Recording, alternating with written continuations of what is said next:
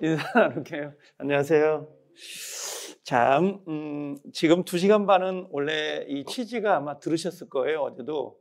어, 시간을 좀 짧게 투자해서 합격하는 게 목적이거든요. 거기에 포인트를 맞춰놓고 수업이 진행되는데 지금 우리가 2시간 반은 어, 입문서를 가지고 7주간 수업을 하게 되는데 어, 실제 이, 이 내용을 가지고 읽고 해석을 하는데 상당히 무리수가 있어서 기본 베이스를 좀 깔아야 되겠다라는 생각 때문에 지금 제가 자료를 드린 거거든요. 그거 하나를 먼저 설명을 하고 그걸 하고 나면 아마 이 내용을 읽어 나가는데 상당히 좀 편해요. 그 내용들이.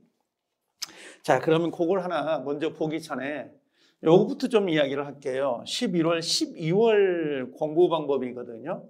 다른 건 아니고 11월, 12월 공부 방법 요것만 생각을 하세요.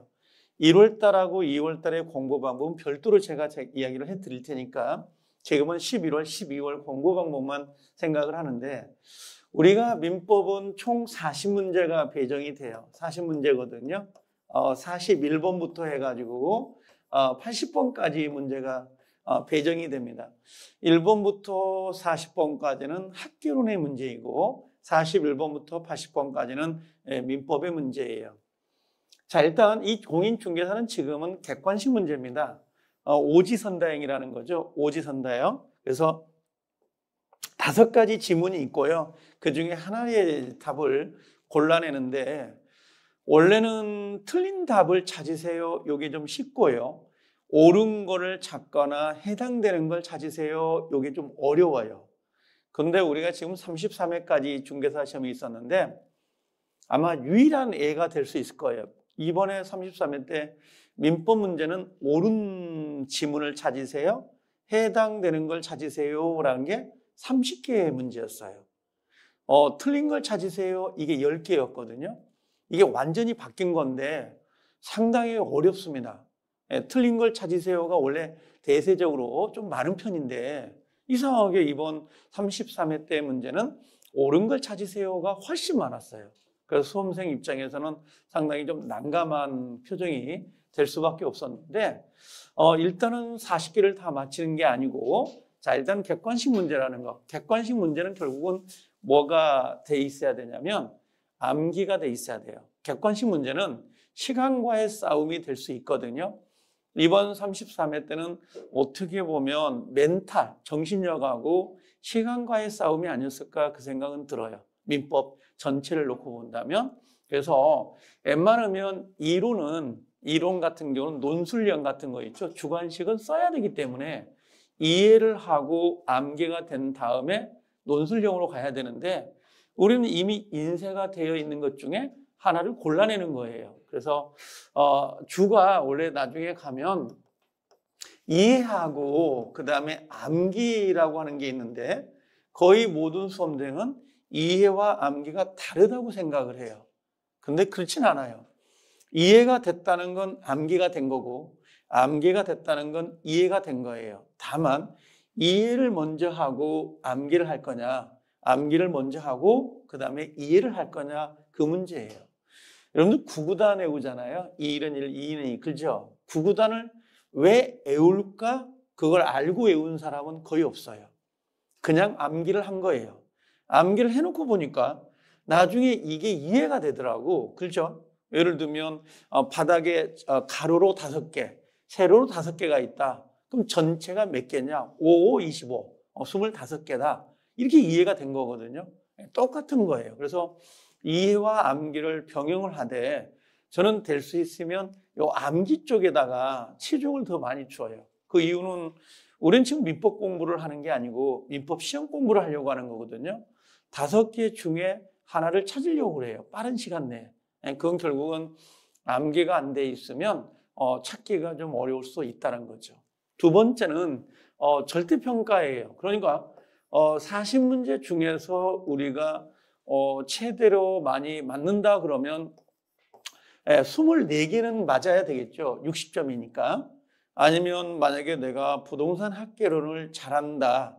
그럼 40문제에서 부동산 학개론을 80점을 맞고 민법은 16개만 맞아도 과락을 면하기 때문에 합격할 수는 있을 거예요. 그래서 어, 민법은 일단 24개가 최대 목표라는 거, 아, 요것 정도를 맞는 게 가장 관건이에요. 그래서 전체를 다 맞추려고 할 필요 없이 24개, 어렵고 힘든 지문 같은 경우는 패스해버리면 낫습니다. 안 풀고. 그래서 될 수 있으면 어, 민법 시험 공부를 해야 되지. 예를 들면 민법 공부를 해요. 그러면 요건 안 돼요. 여러분들은 민법 공부를 하는 게 아니거든요. 중개사는 나중에 실무에 나가서 민법을 상담해주고 민법과 관련된 법률 관계를 뭐 이야기하거나 또는 조언을 하거나 그럴 필요가 없어요.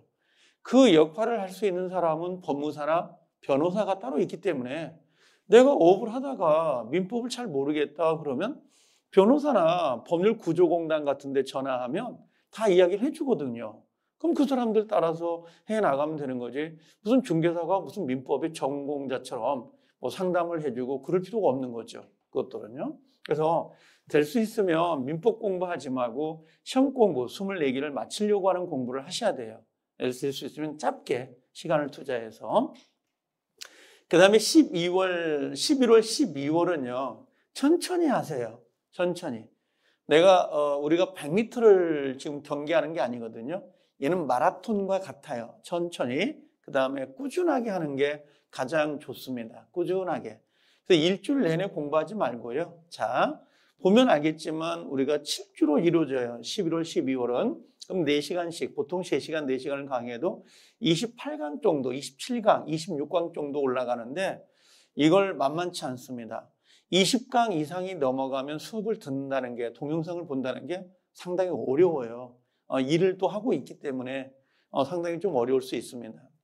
또 이게 사람마다 공부 환경이 다르다라고 돼 있거든요. 그게 뭐냐면 초시생일 수도 있고 재수생일 수도 있고 또는 직장 생활을 하는 경우도 많고요. 또 하지 않는 경우 또 결혼하는 사람 또는 결혼을 했는데 자식이 있는 경우도 어, 다르죠.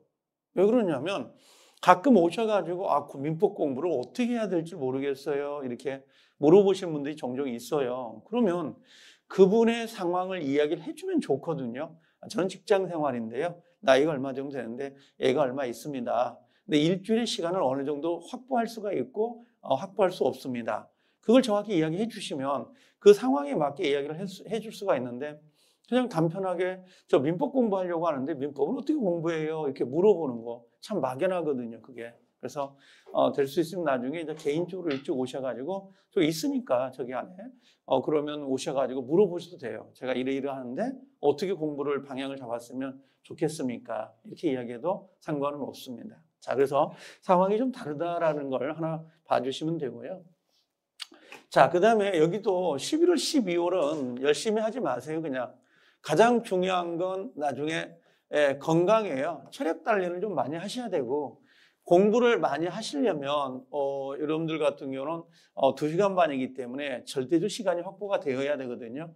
가장 시험 생활에 중요한 게 아마 6월 달일 정도 7, 그 다음에 8이면 여름이잖아요. 어, 그래서 이때부터 가공을 시작을 해가지고 9월, 10월 시험 보기 직전인데요. 이게 엄청나게 중요해요. 이 시간대가.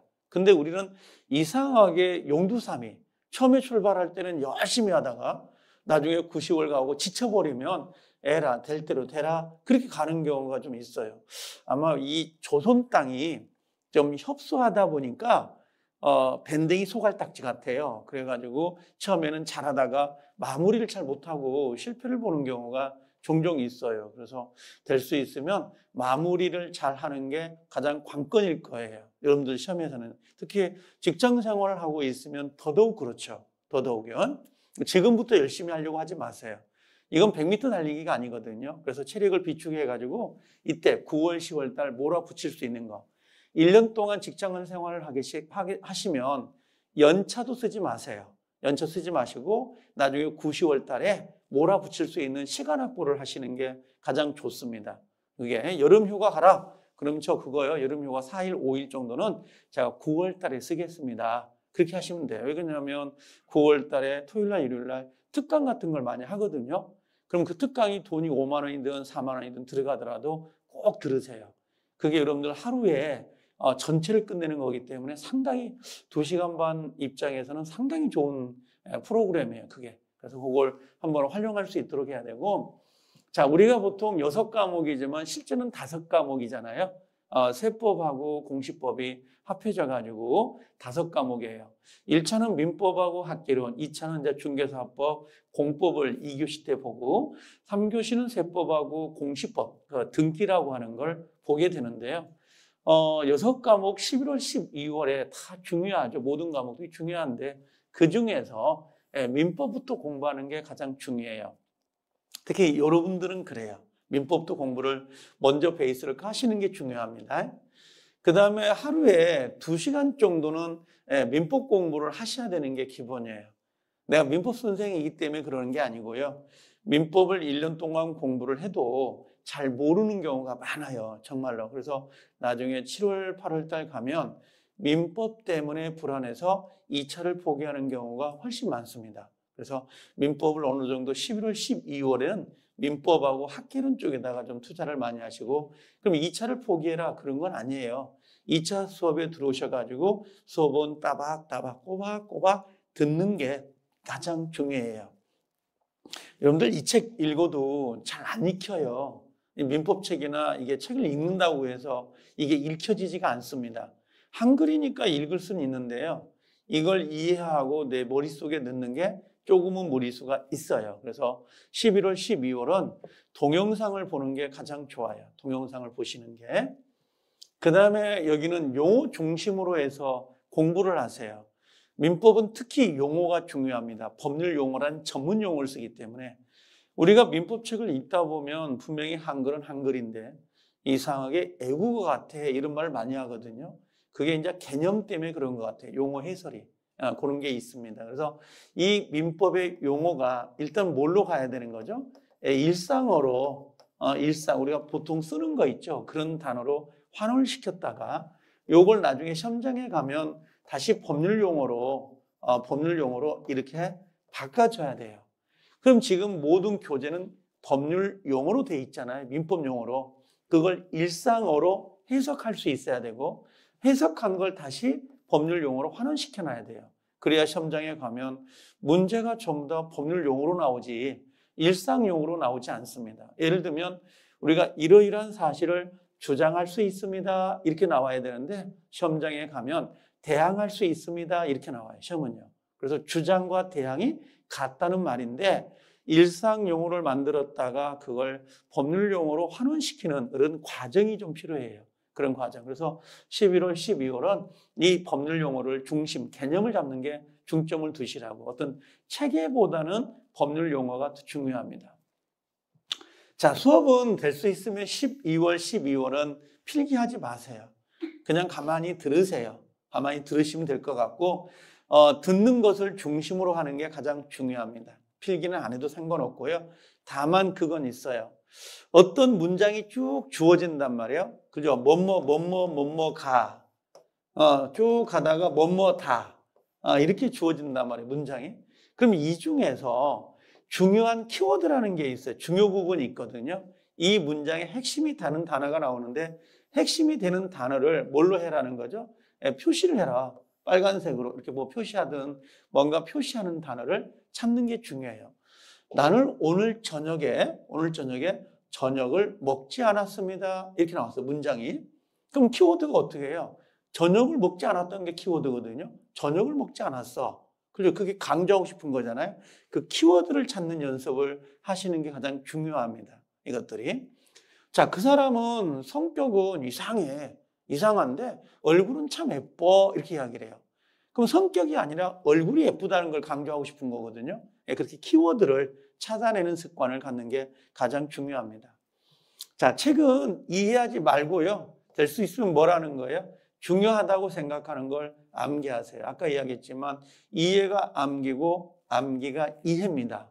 두 개가 떨어져 있는 게 아니에요. 이해를 먼저 할 거냐 그 차이는 있지만 자, 그래서 이렇게 보시면 되고요. 하나만 더 해볼게요. 이건 동차생이에요. 이건 동차생인데 어, 지금 11월, 12월 스케줄이거든요. 11월, 12월입니다. 1월, 2월이 아니고. 보통 인강은요, 오전이나 오후에 촬영을 하죠. 그럼 이게 언제 올라가요? 우리 2시간 반은 오늘 못 올라가죠. 다음 날 올라갑니다. 다음 날. 그럼 다음 날 올라가는데 다음 날은 또 다른 과목을 수업을 할 거 아니에요? 학기론. 특히 여러분들은 더더욱 야간에 수업을 듣는다면 시간이 많이 부족하거든요. 그래서 어, 될 수 있으면 만약에 동차 같은 경우는 11월, 12월이더라도 민법을 2시간, 민법을 2시간 이렇게 월화 나눠 가지고 나눠 가지고 아니면 1시간, 1시간 이렇게 동영상을 보시는 게 가장 중요합니다. 그다음에 여기 두 번째 수요일 날 목요일 날은 학계론이나 민법, 그다음에 학계론 어, 민법을 보시는데요. 일요일 날은 무조건 공부를 배정하면 안 돼요. 왜 그러냐면 지금 월요일 날, 화요일 날 동영상을 봐야 되는데 내가 못 볼 수 있단 말이에요. 그렇죠? 그럼 요것들을 요 시간 타임을 못 본 걸 여기서 보충을 하셔야 돼요. 이게 보충을. 그래서 어, 실제는 여러분들이 어, 직장 생활하고 야간에 와서 수업을 듣다 보니까 일단 시간 확보가 제일 중요해요. 음, 우리가 그런 거 있잖아요. 아무리 아무리 집중해서 공부를 하더라도 시간 확보가 되지 않으면 공부하기가 상당히 어렵습니다. 어느 정도는 시간이 확보가 되어 있어야 공부를 할 수가 있다 이렇게 보시면 돼요. 자 이게 동차생인데 전 어, 여러분들한테 이걸 더 강조하고 싶어요. 지금 이건 동차가 아니라 1차생이거든요. 이렇게 먼저 준비를 하다가 나중에 1월, 2월, 3월 달 가면서 자신감이 붙어요. 근다고 지금 2차를 듣지 말라 그 소리는 아닙니다. 지금 내가 말하는 것은 동, 우리가 수업을 하잖아요. 지금 월요일부터 해가지고 토요일까지. 그리고 그 나머지 시간을 말하는 거예요. 지금 나머지 시간을. 그래서 만약에 월요일 날 여기 학계론이든 학교론 보시고요. 수요일 날은 쉬시는 게 좋아요. 쉰다고 해서 쉬라는 게 아니고 지금 우리가 어, 저녁에 오셔가지고 수업 3시간을 듣고 10시에 집에 가면 11시란 말이에요. 그죠? 다음날 또 직장 생활을 해야 되기 때문에 어, 공부한다는 건 좀 힘들 수 있잖아요.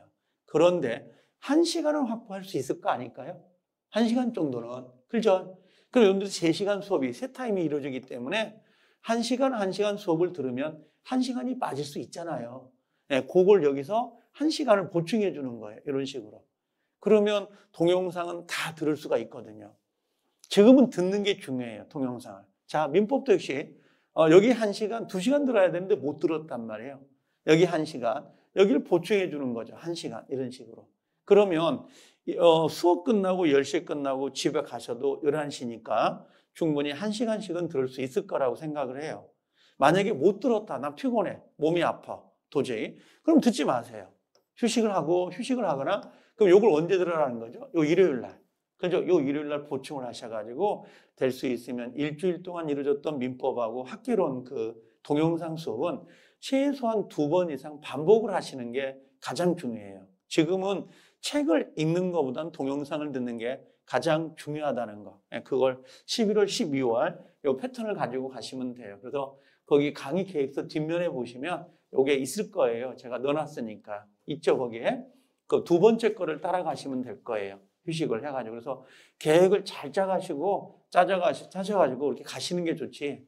무대 프로 막연하게 가잖아요. 그럼 내년에 10월 27일 날 시험 끝나고 나면 무진장에 후회할 수도 있어요. 점점 더 열심히 할 걸 그런 게 있었거든요. 그래서 지금부터 잘 하나씩 잡아가시면 돼요. 민법하고 학교론만 가세요. 민법하고 학교론만. 이게. 자, 그렇게 정리하면 될 것 같고요. 자, 원래 이제 어, 이 정도 하면 정리하면 될 것 같아요. 자, 이젠 어, 본 수업으로 가자고요. 길게 가면 안 되니까. 어, 뭐, 어, 어제는 김상희 선생님이 중개사법을 아마 강의했을 건데, 우리는 지금은 이렇게 해서 기본 교과서가 나오면 이제 테마별로 수업이 들어가거든요. 자, 그래서 나중에 기본 교과서가 나오긴 합니다만, 어, 요게 작년에 그 마스터북이라고 하는 책이에요. 제 책인데, 어, 요게 180페이지입니다만, 이번에 나올 책은 어, 240페이지 정도 돼요. 이게. 그래서 어, 작년 33회 때 200개 지문이잖아요. 오지선다이고 40문제니까 5, 4, 20, 200개인데 여기서 175개 지문이 그대로 나와 있어요. 이 지문 자체, 이 책 안에가 그대로. 그래서 어, 나중에 가면 1년 동안 기본소가 나와요, 별도로. 요 입문서는 이번에 버려요. 11월, 12월 보이고 버리는 거거든요. 그러니까 다시 안 봐요. 이 책은. 그러니까 이책 갖고 뭐 줄치고 공부할 생각 하지 마시고 나중에 이 책이 나올 거예요. 이 책은 하나 구매를 하셔야 돼요. 이거. 그래서 이 책을 띄워놓고 계속 강의를 할 거거든요. 저는 한 권만 할 거예요. 이 책만. 반복해서 우리가 1년 동안 요거 한 권만 할 테니까 그렇게 알고 계시고 이걸 달달달 외우세요. 그러면 아마 문제를 풀어내는 거 아마 믿음을 주면 또 믿음 대가가 들어가거든요. 중간에 힘들더라도 안 힘들겠어요. 공부하는데 힘들죠. 고비가 오거든요. 그때마다 항상 요걸로만 계속 반복을 하세요. 그러면 아마 충분히 따라가지 않을까 생각은 들어요. 자, 어, 민법이 뭐냐? 민법이 뭐냐? 민법의 체계는 어떻게 되어 있습니까? 전 이거 이야기 안 하려고 해요, 지금. 나중에 가면 자동으로 아는 거거든요. 뭐 민법은 법률 관계를 규정하고 있는 어, 사법이다 이렇게 이야기를 하는데 이 민자가 백성 민자예요. 모든 사람에게 적용되는 게 민법이에요. 이 민자가 백성 민자거든. 민법 할 때 민자가. 그러면 이건 결국 개인끼리 이루어지는 거니까 이걸 사권, 사법이다 이렇게 이야기를 하고 여러분들 우리가 공법 같은 거 배울 거예요. 내일 모레 공법을 배우는데 공법은 공법이에요. 말 그대로. 국가와 수직 관계, 어, 국가와 개인 간의 관계고 이 민법은 사법 관계, 수평 관계예요. 너와 너 사이 아, 이런 관계거든요. 자 그러면 우리가 어, 민법을 처음 피면 어떤 내용이 나오냐면 권리변동이라는 책이 내, 용이 나와요. 여러분들 혹시 기본 교과서 우리 한번 잠깐만 내가 펴볼게요. 보라는 건 아닙니다. 이건요. 이걸 보려고 하는 건 아닌데 어, 여러분들 여기 보면 124페이지 보면 124페이지에 법률행위 종칙이라고 되어 있는 부분 보인가요? 그죠? 근데 얘는 법률행위가 먼저 나와 있는데 원래 기본 교과서를 딱 펼치잖아요. 그럼 가장 먼저 나오는 게 뭐냐면 예, 권리변동이라는 게 나와요. 권리변동 이렇게 예, 나오거든요.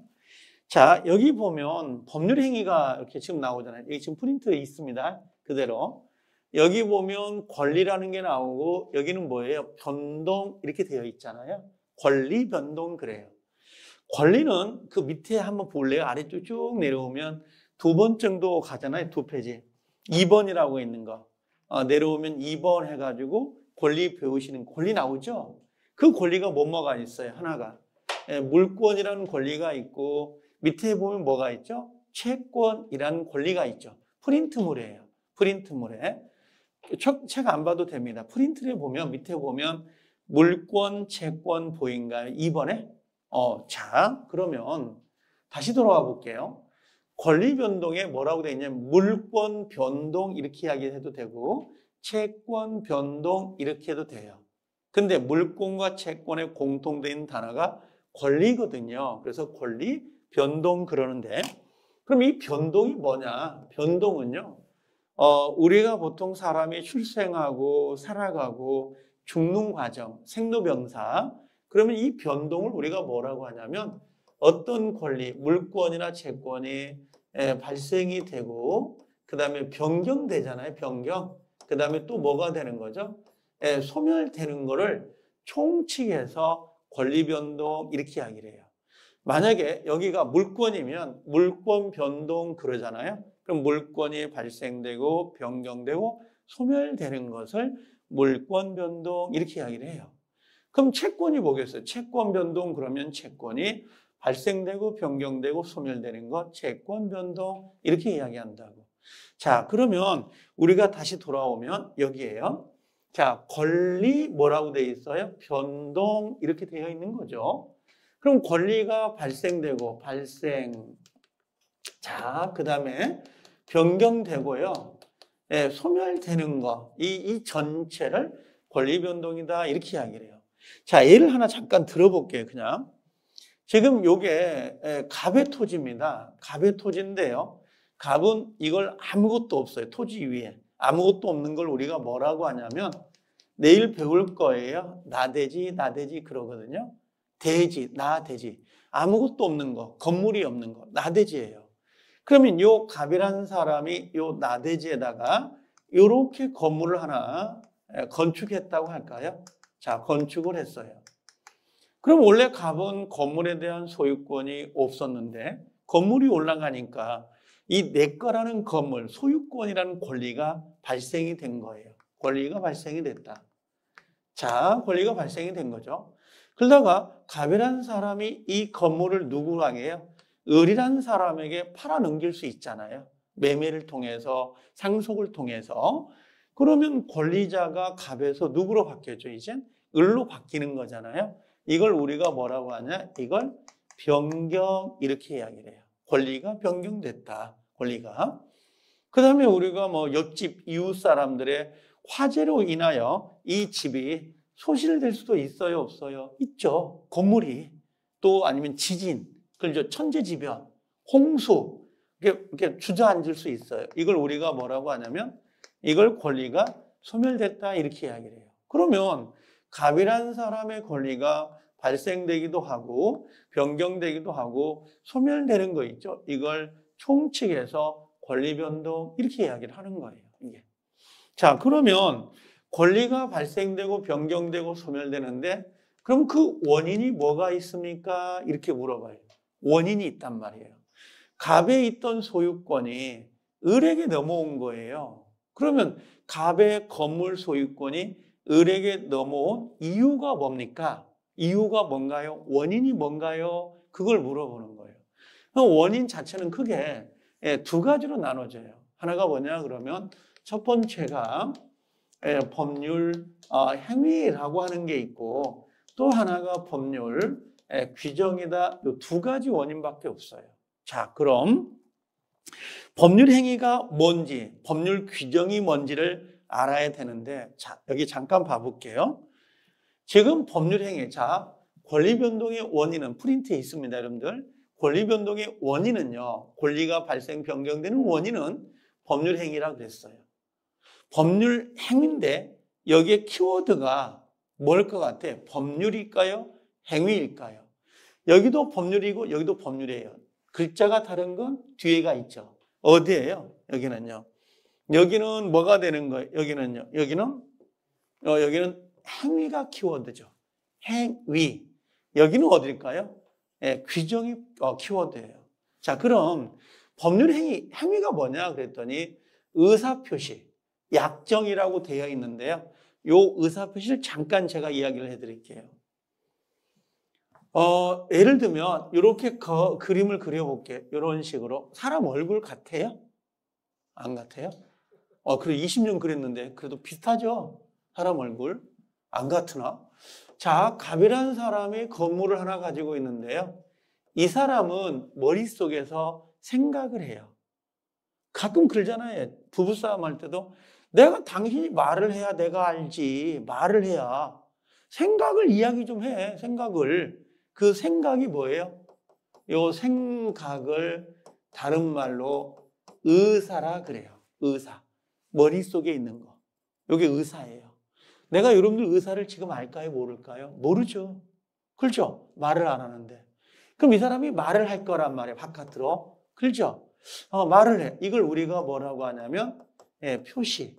요걸 입이라 하고요. 이걸 머리라고 할까요? 이렇게. 그러면 용어가 두 개가 섞였어요. 어떤 게 섞인 거예요? 음, 요게 의사하고 이거 이게 뭐야? X. 요게 뭐죠? 의사하고 요게 의사라는 거하고 뭐가요? 표시라는 거. 요 두 개가 예, 섞여 있는 거예요. 이걸 의사 표시 그래요. 그러면 의사 표시라는 것은 머리에서 생각하고 있는 걸 외부로 표시하고 그걸 행동으로 나타내는 것을 법률 행위 그래요. 다른 말로 의사 표시는요 일종의 의도한 대로 의도한 대로 효과가 아, 효력이 발생되는 거 있죠. 이런 것들을 우리가 법률 행위 이렇게 이야기합니다. 자, 법률 행위에서 가장 대표적인 게 매매예요. 어, 그 샌드위치 사왔는데 저녁에 올 때 먹으려고 사갖고 온 거죠. 그죠? 나 샌드위치 먹어야 되겠어. 배, 그 배고파. 밥을 안 먹었거든? 그리고 뭡니까? 가게에 들어가서 그 샌드위치 주세요. 하고 의사를 표시한 거예요. 방금 법률 행위를 하고 온 거예요. 자, 나는 수업을 끝나고 버스를 타든 지하철을 타든 타고 집에를 가야 되거든요. 그렇죠? 그럼 내가 집에 갈 때 나 200번을 탈 수도 있고 157번을 탈 수도 있는데 난 200번 타고 가야 되겠다고 생각을 하고 버스가 200번이 오니까 발을 뒤집고 올라탑니다. 이게 표시예요. 의사를 표시한 거죠. 그게 법률행위예요. 내가 의도한 대로, 내가 생각한 대로 효과가 발생되는 걸 법률행위라 그래요. 여러분들 여기 학원에 올까? 아니면 옆에 갈까? 얼마나 많아요. 중개사 학원들이. 그렇죠? 그게 뭐겠어요? 난이 학원을 갈 거야. 생각한 대로 행위를 한 거죠. 이게 의사표시예요. 이게 법률행위예요. 법률이. 난 이 사람하고 결혼해야 되겠어. 그리고 청약과 청혼을 하죠. 승낙을 해서 결혼을 했어요.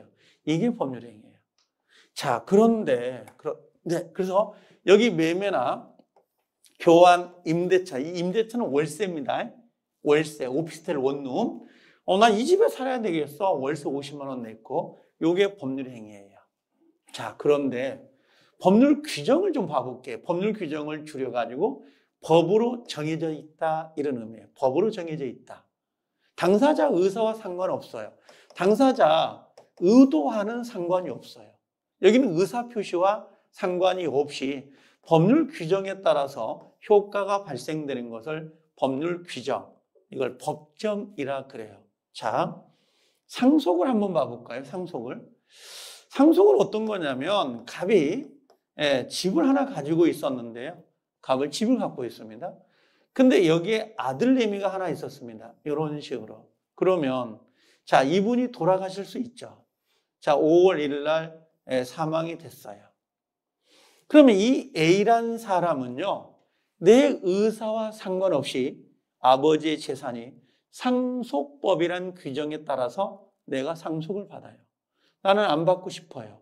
근데 자동으로 넘어와요. 자, 예를 들면 아들내미가 A만 있는 게 아니에요. B도 있고 여기에 C도 있을 수 있어요, 없어요? 있죠.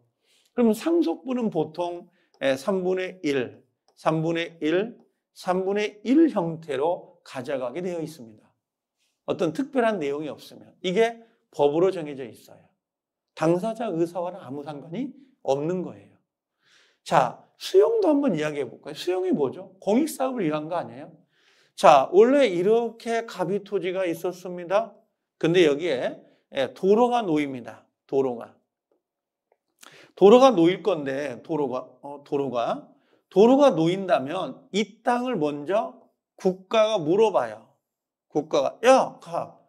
내가 이 평당 얼마씩 사고 싶은데 팔 생각 있니? 이렇게 물어봐요.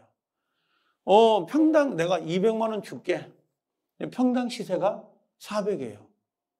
그랬더니 갑이 어, 공익 사업을 위한 거니까 내가 뭐 희생하죠. 가지세요. 사세요. 그럴까요? 만약에 그렇게 이루어졌다면 그러세요. 그러세요. 하고 이루어졌다면 당사자의 그 협의, 합의에 의해서 이루어진 거기 때문에 그게 법률행위예요. 그렇지 않겠어요? 근데 어떤 그죠? 미친 사람이 400짜리를 200에 팔겠냐고. 그죠? 요즘 국가도 말랑말랑 하잖아요. 그죠? 아, 찔러보면 되잖아요. 애들하고 똑같습니까? 군부정부하고. 그죠? 그러니까 어떻게 해? 야, 못 팔아. 나 안 팔 거야. 그랬더니 이 국가가 어떻게 해? 국가가 공익사업, 그죠? 공익사업에 의해서 어떻게 이걸 강제 수용을 합니다. 강제 수용을. 이렇게 적정가에 의해서 수용을 하겠죠. 강제 수용을 하면 협의에 의해서 이루어진 게 아니라 법의 규정에 의해서 이루어진 거잖아요. 그래서 이걸 우리가 법률 규정에 의한 물권 변동이 된 거야. 소유권이 갑에서 국가로 넘어오잖아요. 권리가. 그럼 권리가 변동되는, 권리가 변동되는 원인은 두 가지가 있더라. 하나가 뭐예요? 법률 행위. 또 하나가 뭐예요? 법률 규정이에요. 법률 행위를 뭐라고 하냐? 법률 행위를 다른 말로 약정, 서로 약속에 의해서 이루어졌다. 법률 규정은 뭐라고 그래? 다른 말로 법정이라고 그래요. 한번 물어볼게요. 그냥 힌트로. 어, 지상권이라는 거하고 지상권 이렇게 나올 때가 있고 그 다음에 앞에가 예, 법정, 예, 지상권 이렇게 나올 때가 있어요. 이 지상권은요 한자입니다. 땅 지자, 윗상자, 권세권자, 땅 위를 사용할 수 있는 거거든요. 가장 지상권의 대표적인 게 뭐냐면 혹시 고속도로 같은 거 운전하다 보면 광고탑 같은 거 보이신 적 있어요? 행성한호 그런 거예요. 큰 관광공사에서. 그게 바로 뭐냐면 지상권이에요. 남의 땅에다가 광고탑을 올린 거죠. 또 우리가 운전하다 보면 고압탑 보이지 않아요? 고압탑? 고압탑. 그죠? 그 고압탑 밑에가 국가 땅이 아니라 개인 땅인데 그걸 빌려가지고 공작물을 올린 거거든요. 그게 지상권이에요. 남의 땅을 빌려가지고 땅 위를 사용할 수 있는 거. 흔히 볼 수 있는 건 고가도로. 내 땅 위에 고가도로가 있잖아요. 밑에 농사를 짓고 이런 것도 지상권이에요. 그래서 지상권은 땅 위를 남의 타인 토지를 사용할 수 있는 권리인데 자 단어를 두 개를 썼어요. 하나가 그냥 지상권이었고 또 하나가 법정 지상권이에요. 느낌이 오나요? 요게 지상권이다. 그럼 뭐겠어요? 아, 약정 지상권이에요. 이게 법률행위에 의한 계약에 의한 지상권인 거고 여기 법정이잖아요. 그럼 뭐예요? 법의 규정에 따른 지상권이에요. 약속을 하지 않더라도 법의 규정에 따라서 지상권이 나온다. 이렇게 보시면 되죠. 자, 저당권이라는 게 있고요. 법정 저당권 요것도 있어요. 그럼 뭘까요? 저당권은 서로, 서로 약속을 해서 법정 저당권은 법의 규정에 의해서 나오는 거예요. 여러분들 공부 안 해도 금방 알지 않아요? 자, 이걸 어때요? 자, 무슨 말인지 모르는데 합의 갱신이라는 게 있고요. 그 다음에 법정 갱신이라는 게 있습니다. 그럼 무슨 말일까요? 합의, 합의. 서로 합의한 거잖아요. 요건 법률행위. 위에 법률행위. 그렇죠? 요건 뭐겠어요? 법률 규정이란 말이에요. 냄새가 나지 않아요, 이렇게? 갖다 준단 말이죠, 이걸. 그래서 이걸 못 찾으면 안 되지, 이건요. 그래서 우리가 보통, 어, 권리가 변동되는 건 원인이 두 가지예요. 하나가 법률행위, 또 하나가 법률 규정이라는 거. 네, 그걸 생각해 보면 금방 올 수 있는 거죠. 여러분들 여기 학원에 올 때 등록을 하거든요. 그 법률 행위인가요? 법률 규정인가요? 그게 법률 행위예요. 슈퍼에 들어서 내가 어, 내가 편의점에 들려가지고 이걸 사야 되겠습니다. 커피숍에 들려가지고 이 커피를 사야 되겠다. 내 의사를 표시하죠. 그게 법률 행위예요. 그런 것들이. 여러분들은 하루에도 법률 행위를 수없이 합니다. 수없이. 근데 그게 법률행위인지를 모르고 하는 경우가 대부분이죠. 자, 그래서 법률행위는 자, 당사자 의사대로 효과가 발생되는 겁니다. 자, 그러면 그래서 우리 그 입문서에 보면 첫 번째가 뭐라고 되어 있어요? 법률행위 총칙이라고 되어 있지 않아요? 이제 해석이 되는 거야. 아, 법률행위 당사자가 의도한 대로 효과가 발생되는 행위구나. 의도한 대로. 자, 그런데 가볼게요. 자, 요거 이제 참조만 하세요. 자, 이렇게 오시면 이렇게 안 지웠으니까 권리 변동은 권리 변동은 권리가 발생되고 변경되고 소멸되는데 원인이 두 가지가 있더라. 하나가 뭐예요? 법률행위, 하나가 법률 규정이거든요.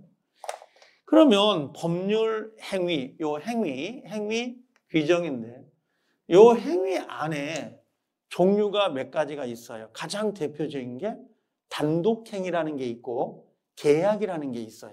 이 안에가 이 안에가 단독행위라고 하는 거 안 써도 돼요. 그 다음에 여기가 또 하나가 뭐가 있냐면 계약이에요. 어, 뒤에서 이야기를 할 건데 의사표시를 요소로 한다 그랬어요. 법률행위는. 반드시 의사표시가 있어야 되거든요. 그러면 의사는 머릿속에 있는 거고 표시는 입 바깥으로 이야기한 거예요. 의사를 이야기한 거라고. 그럼 단독행위는 의사 표시가 하나일까요? 두 개일까요? 느낌상으로. 하나. 하나에 의해서 효과가 발생되는 걸 단독행위 그러는 거예요. 계약은 매매가 가장 대표적인 거거든요. 물건을 파는 매도자는 1억은 받아야 되겠습니다. 매수자는 아 1억은 너무 비싸. 한 9천 하고 두 개가 옥신각신하다가 갑의 의사가 합치되고 의뢰 의사가 합치가 되면 이루어지는 거. 그러면 계약은 의사 표시가 몇 개인가요? 두 개예요, 두 개. 여기는 한 개, 여기는 두 개가 합치됨으로써 성립되는 법률 행위를 말합니다. 자, 이건 뒤에 가서 좀 이야기를 할 건데 다시 돌아와 볼게요. 자, 법률 행위. 이게 뭐라고 했어요? 법률 행위 그러면 법률 행위 그러면 얘는 뭐라고 한다고요? 법률 행위는 당사자가 의도한 대로, 그죠? 어, 약정. 약속한 대로 이런 의미고 법률 규정의 키워드죠. 여기는 규정. 여기는 뭐예요? 법정. 음, 이렇게 들어가 있는 거죠. 그럼 여기 보니까 뭐라고 되어 있는 거예요? 여기 보니까 어, 당사자가 의도한 대로 의사표시에 의해서 효과가 발생이 되는 걸 법률행위 그러는 거고요. 법률의 규정, 법의 규정에 따라 효과가 발생되는 것을 우리가 규정, 법정 이렇게 이야기를 해요. 자, 여기 법률행위 두 가지가 아주 대표적인 거죠. 단독행위 계약. 의사표시가 몇 개예요? 의사표시가 한 개에 따라 효과가 발생이 되는 거고 어, 계약은 두 개가 예, 합치가 되는 거예요. 합치가 돼서 이루어지는 걸 계약이라고 합니다. 어, 뒤에 설명을 다시 할 겁니다. 이 문제를 다시 볼 건데요. 작년에 32회 때 문제하고 33회 때 문제가 두 번 나왔어요. 여러분들은 작년, 여러분들 이제 시험이 34회 시험이거든요. 그래서 2년 연타로 나왔어요. 그럼 올해 시험에 나올까요? 안 나와요. 안 나온다고. 양심 있지. 그렇죠? 아, 똑같은 문제를 41번에 세 번씩 연타로 내겠습니까? 아, 야구 경기 지금 야구 하고 있을 것 같다. 오늘 야구 하나 하지 않나? 끝났나? 지금 하고 있을 것 같은데. 그죠? 이게 아, 코리안 시리즈. 별로 관심 없어도 코리아잖아. 그렇죠? 예. 그럼 어떻게 해요? 같은 선수가 세 번 타석에 들어서서 홈런을 세 번 때릴 수 있을까요? 없다는 건 아니에요. 근데 그럴 확률이 적다는 거죠. 그래서 시험에 나오기는 좀 어려운데 이 내용은 기본적으로 나중에 알고는 계셔야 될 거예요. 알고는. 그래서 여기 보면 단독행위는 의사표시가 몇 개라는 거, 이게 지금 이렇게 내놓은 거죠. 단독행위는 의사표시가 몇 개? 한 개의 의사표시로 효력이 발생하는 거예요. 나중에 요건 배울 겁니다만, 예, 조건과 기한은 못 붙여요. 이건 나중에 암기를 해야 되거든요. 이건요. 자, 계약은, 자, 대립되는 몇 개가요? 왜 대립이란 말을 썼냐면, 매도자하고 매수자를 생각해 보세요. 매도자는 물건을 파는 사람이거든요. 그럼 더 받으려고 하지 않을까요? 가격을. 근데 매수자는 사는 사람이에요. 그럼 가격을 다운시키려고 할 거 아니야? 두 개의 의사가 대립되다가 어느 순간에 뭐예요? 대립되는 두 개의 의사가 합치가 되는 거야. 합의. 그래서 효과가 발생이 되는 것을 계약이다. 이렇게 이야기를 해요. 여러분들, 우리 결혼하잖아요. 결혼도 계약일까요? 아닐까요? 감남이 청혼을 하고 을려, 그죠? 승낙을 합니다. 이게 대립돼요. 어, 뭐라고 그래? 열쇠 두 개 그랬단 말이에요, 남자가. 그러니까 여자분이 열쇠 세 개는 있어야 내가 승낙을 하지? 그럴 수 있잖아요. 아, 그럴 거 아니야. 예를 들면. 그럼 남자가 열쇠 세 개. 그죠? 그럼 여자도 콜. 그럴 거 아니야. 안방 열쇠, 작은 방 열쇠, 화장실 열쇠. 세 개. 그럼 되는 거 아니에요, 이게. 자, 어, 그러면 이 두 개의 의사가 합치가 된 거지? 이게 계약이에요. 이게. 자, 그래서 단독행위가 이렇게 들어와 있는 것들인데, 요 부분들은 나중에 우리가 어, 뒤에 가서 한번 더 살펴보기로 하고요. 자, 어, 요, 요것만 먼저 기억을 좀 하고 계세요. 이건 그대로 따라갑니다. 자, 그 다음에 여기 와 볼게요. 우리가 권리 변동일 때 이 권리라는 게 나오잖아요. 요 권리. 그죠? 이 권리가 뭐가 있습니까? 이렇게 물어봐요. 우리, 우리 시험범위에서 권리는 예, 두 개밖에 안 봐요. 하나가 물권이라는 권리가 있고 또 하나는 채권이라는 권리가 있어요.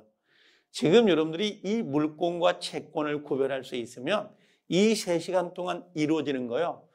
민법의 5분의 1이 끝나는 거예요. 민법 전체 5분의 1을. 여러분들이 이걸 알아들을 수만 있다면 이게 자, 그러면 여기 보면, 자, 요거예요. 권리가 뭡니까? 그랬더니 물권이라는 권리가 있고요. 그 다음에 채권이라는 권리가 있어요. 이 물권, 채권을 구별하기가 만만치 않아요. 자, 일단 가장 특징은 이거예요. 여러분들은 지금 물권을 잘 몰라도 민법을 공부하지 않아도 물권을 아는 게 딱 하나 있어요. 거의 대부분들이. 뭐가 있을 것 같아요? 소유권이요. 이 책 누구 거예요? 제 거예요. 내 거예요. 내 거가 뭐예요? 소유권이에요. 자, 갑이란 사람이, 갑이란 사람이 집을 하나 가지고 있거든요. 이건 내 겁니다. 내 거. 자, 이걸 소유권 이렇게 이야기를 하는데, 갑은요, 이 물건을 누군가의 간섭 없이 사용하기도 하고, 수익, 남들한테 빌려줘가지고 월세를 받을 수도 있습니다. 아니면 필요 없으면 이걸 팔아서 예, 처분해 버릴 수 있죠. 그럼 물건을 사용하고 수익하고 처분할 수 있는 거. 누군가의 간섭을 받아야 안 받아요? 안 받아요. 그러면 물건은, 물건은 사람이 뭐예요? 물건을, 사람이 물건을 사용하고 수익하고 처분할 수 있는 권리를 규정하고 있는 것. 이런 것들을 우리가 물권, 물건을 사용하고 수익하고 처분할 수 있는 권리, 물권. 결국은 이건 뭐예요? 사람이 물건이에요. 물건을 사용하고 수익하고 처분할 수 있는 권리가 물권이에요. 그럼 이 물권은 권리자는 있어요. 권리자는 있는데 여기에 의무자가 없죠. 왜요? 자, 요게 지금 내가 이 칠판 뚜껑을, 여기 칠판 닦개를 지금 내가 사용하고 수익할 수 있거든요. 이게 점유권이거든요. 나와 이 칠판 지우개 사이, 이 관계, 이게 물권이에요. 지금 여러분들은 의자에 앉아있죠, 책상에. 오늘 수업을 끝나고 가기 전까지 물권 하나를 가지고 있습니다. 그게 점유권이에요. 여러분들은 화장실 갔다 왔는데 누군가 내 자리에 앉아있더라. 그럼 뭐라고요? 이거 제 자리인데요. 비켜주세요. 물권을 주장하고 있는 거예요. 점유권이란 물권을. 내가 오늘 집에 갈 때 버스를 탈 거고 나는 의자에 가방을 던져서 미리 자리를 확보했어요. 그렇죠? 그럼 나는 그 자리에 앉아서 갈 수 있죠. 내릴 때까지 점유권이라는 물권을 갖습니다. 그 물권은 사람 대 물건 사이 그 관계를 규정하는 거예요. 그게 물권이에요. 채권은 안 그래요. 그럼 채권은 뭐냐? 채권은요, 사람이, 어떤 사람이 다른 사람에게 뭔가를 해달라고 요구할 수 있는 요구를 우리가 뭐라고 하냐면 이행을 또는 다른 말로 어려운 말로 급부를 급부를 해달라고 요구하는 것 이런 것을 채권이라 그래요. 그럼 채권은 사람이 사람에게 그럼 이 사람을 우리가 뭐라고 하냐면 말대로 권리자라고 하는데 권리자를 다른 말로 채권자라 그래요. 이 사람을 뭐라고 하냐면 의무자라고 하죠. 의무. 이걸 다른 말로 뭐라고 하냐면 채무자라고 해요. 근데 우리는 권리자, 의무자보다는요, 채권자, 채무자라는 개념을 더 많이 사용합니다. 우리는 앞으로 이제. 그럼 여기는 사람 대 사람이잖아요. 그죠? 사람 대 사람. 그럼 이 사람이 이 사람에게 뭔가를 요구하는 거거든요. 요구하는 거.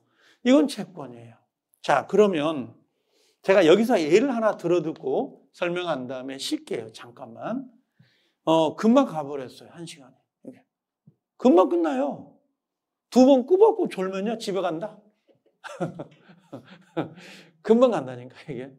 아, 피곤하죠. 피곤합니다. 그러니까 공부할 때 속만 괜찮으면, 위장만 괜찮으면 그 이온 음료 같은 거 있잖아요. 이온 음료. 그 이온 음료가 뭐죠? 그게? 음, 포카리 스웨트 같은 거. 그런 거 하나 저녁에 올 때마다 예, 드셔도 괜찮아요. 그럼 위장도 튼튼해져요. 그런 거. 근데 파워에이드인가? 파란색. 그건 설탕 가루가 좀 많이 들어가 있다고 하긴 하더라고요. 그래도 그게 달달하고 좋긴 해요. 이게.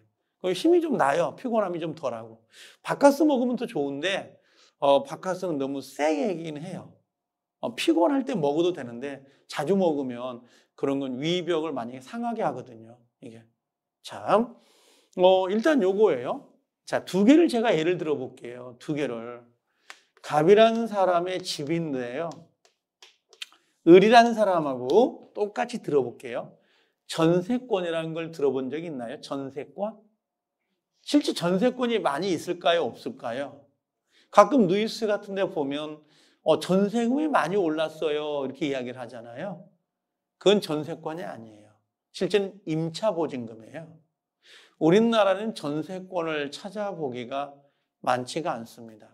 우리가 생각하는 그 전세권은 거의 대부분이 99%가 임대차인 경우가 많아요. 미등기 전세인 임대차.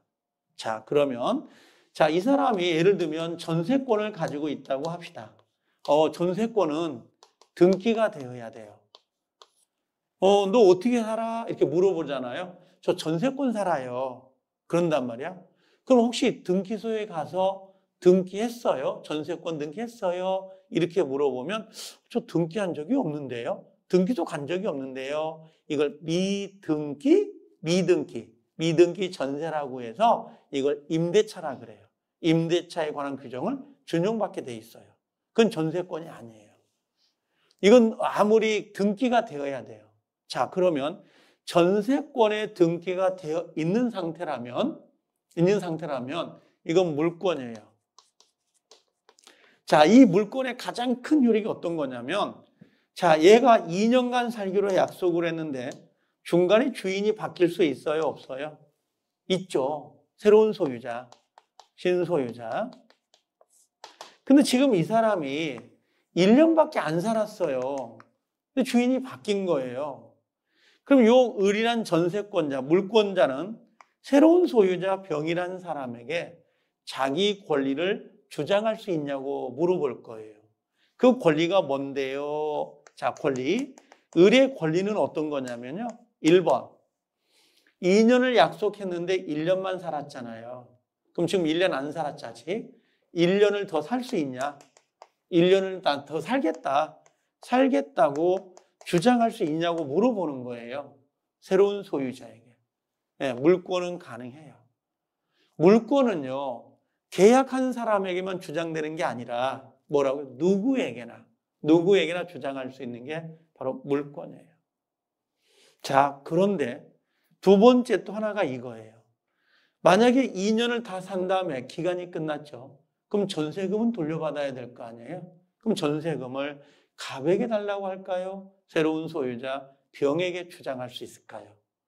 네, 병에게. 그래서 병에게 네, 전세금 반환을 전세금 돌려주세요. 반환을 네, 청구할 수 있다라고 하는데 이걸 우리가 뭐라고 하냐면 대항력이라 그래요. 대항력. 이걸 우리가 주장할 수 있습니다. 주장한다. 이런 표현이에요. 예, 이건 같은 말이에요. 대항할 수 있습니다. 주장할 수 있습니다. 왜요? 누구에게나. 이게 물권이기 때문에. 자, 이 책은 제 거죠. 그죠? 이거 내 책이에요. 하고 주장할 수 있죠. 여기다 내 책이에요. 주장할 수 있죠. 노량진 앞에 나가서 지나가는 사람한테 이건 내 책이에요. 라고 주장할 수 있을까요? 없을까요? 있어요. 그게 바로 물권이에요. 물권은 누구에게나 주장합니다.